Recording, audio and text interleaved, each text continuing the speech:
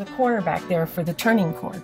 The turning cord functions independently from the thermostat and the heating elements, which is a good thing. It means you could set your incubator up to turn the eggs for two weeks while you're gathering eggs without using the heating element. And that's a very good way to do it. I've done it successfully many, many times. The heating element, as you can see, has increases if you bring it this way, decreases if you bring it that way. It takes a good quarter of a turn to make much difference at all. So don't be afraid to give it a wide swing when you really need to change it fast. So um, then you watch for when the indicator light is on. It's on now because we're above temperature or below temperature, so it's trying to bring it back up. And it goes off and then it comes down and then it clicks back on again, just like any other kind of heater's indicator light that you've ever seen.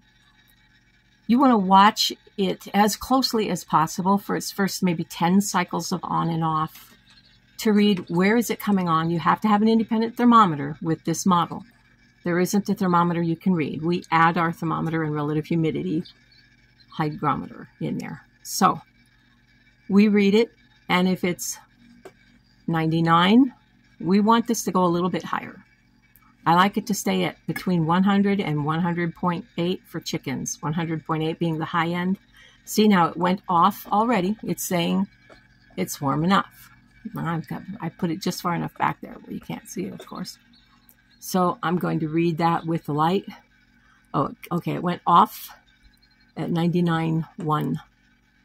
Uh, that's a little low for it to be going off, but that's still good. As long as when it comes on, it takes it back up to 100 to 100.8. And probably an ideal would be 100.4, 100.2 even is fine. And the, the thing to know about the temperature is that if your main incubation over the entire 21 days tends to run cooler at 99 to 99.8 or even 100, your eggs are going to hatch out a day later. If it runs a little hotter, like 101 and up, and hopefully you don't ever go over 102, that's your max for chicks, then they're going to hatch a day earlier. So your 21 days mark is a guideline, not a law. It depends on the body heat of the hen in nature of what day they actually hatch out. And don't be surprised if they hatch out over two and even three days' time. She continues to sit on her eggs for at least three or four days after her chicks are hatching out. And the hen knows when it's time to give up, mostly, usually. With the Hovabator, you need to be aware of that hmm, part of nature rather than just this part of technology. So good luck if you're getting a Hovabator. I highly recommend them. I have two of them. I have two of the exact same model. And if it weren't so we're having such a heat wave, I'd have them both running right now. But it really heats up the utility room. And as you can see by the munching on the side of this one, which thankfully did not interfere with its function, um, if you have free ranging chickens, you, you just can't put these anywhere.